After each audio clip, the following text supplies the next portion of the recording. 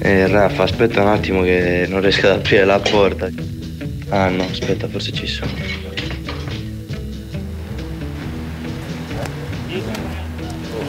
Dove stiamo andando? Stiamo andando. Forse a Napoli stiamo andando. Forse il raduno della nazionale maggiore, non lo so. Stiamo andando a vederlo, penso. Come vederlo? Ti chiamano? Sono veramente contento che sia arrivata questa chiamata, diciamo. Mi sono tolto diciamo, un peso finalmente, ho detto. Ancora guarda, non, non ci credo perché dice, ah, è un sogno, eh, sto sognando, non è vero. Sì, non so cosa mi aspetta, quindi è tutto. c'è un mix di emozioni dentro. Eh, è bello, ecco. Riesco a prendermi il numero zero, cazzo. Ah, non sai ancora i numeri?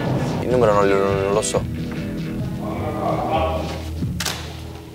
Hai visto lo zero?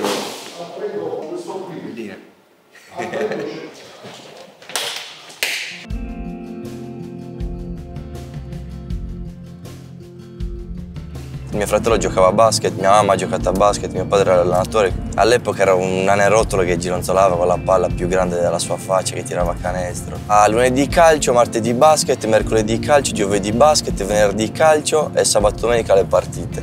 A volte capitava che andavo tutto sporco di fango all'allenamento di basket, quindi era bellissimo.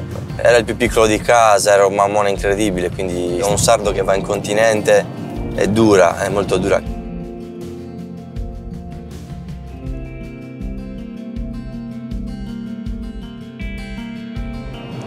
Sono arrivato a Bari e venne a prendermi il team manager e mi portò nella mia, nella mia casa. Era uno spogliatoio.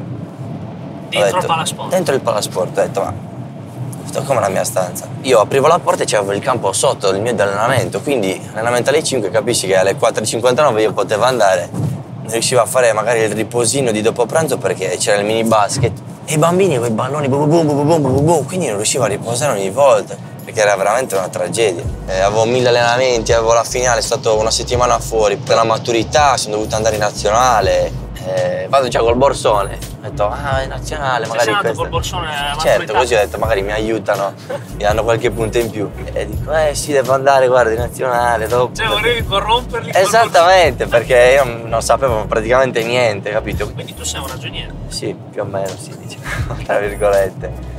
E poi decisi di andare a Casal P.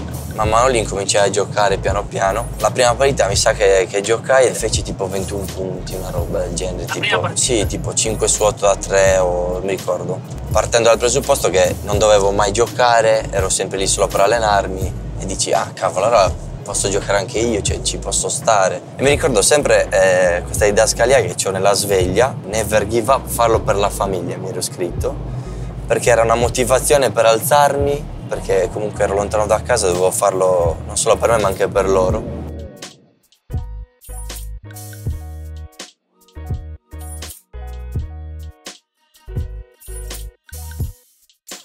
Quando mi chiamo Ramaglia a Bologna non potevo dir di no. Il derby, mamma mia. Specialmente la prima che abbiamo giocato è stata la partita migliore, più bella che abbiamo giocato nella mia carriera, tra virgolette. C'erano 9000 persone che, erano, che stavano urlando e il parquet vibrava. Quindi sono entrato e mi sono messo a urlare anche io perché avevo tantissima adrenalina in corpo che... Ah, fatta così.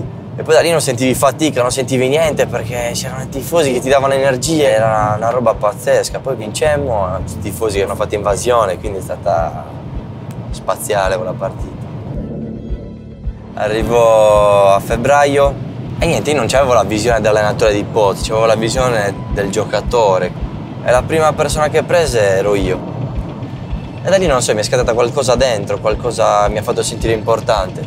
E mi ha preso sotto la sua ala, mi ha dato fiducia. Poi adesso lui dice che lui non ha fatto niente, che ho fatto tutto io, ma penso che se non ci fosse stato lui a darmi fiducia non, non penso che avrei fatto quello che ho fatto. Quindi un grazie lo devo dire anche a lui. Giocare a casa mia è una roba che non, non si può trasmettere, non si può spiegare perché perderebbe valore. Qua- Quante tipe ti scrivono sui social? Ma adesso un po' di meno, devo essere sincero, perché sanno che sono fidanzato. Ah, ok. Però quando ero singolo era una roba allucinante. Ti mandano foto con le tette nude forza spisso, cose così. Ma poi tutte le robe che, che ho fatto quando ero singolo, cioè... Che poi, tra virgolette, Cazzo. Sassari è piccolina, uno esatto. rischia Eh, sì, fare infatti rischi, ma io sai cosa facevo? Eh, Andavi a Nuoro. No, no, no, io sempre a casa, non mai, mai uscito in giro con una persona. Così non mi facevo vedere e...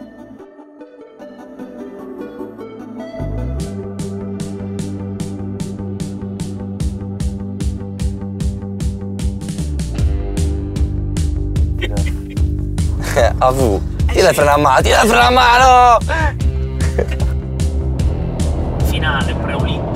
Belgrado, 20.000 tifosi. Eh, ci ho pensato sì, ti, ti direi una bugia di, se ti dici sì no. Eh, lì devi tirare fuori i marroni, eh, perché affronti una squadra che, che è favorita, che gioca in casa, che avrà 20.000 animali che ti urlano contro.